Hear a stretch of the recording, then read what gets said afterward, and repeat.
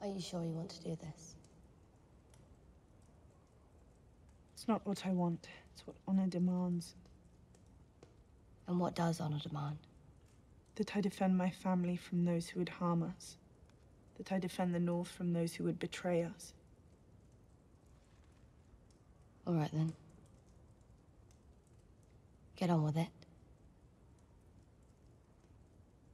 You stand accused of murder. You stand accused of treason.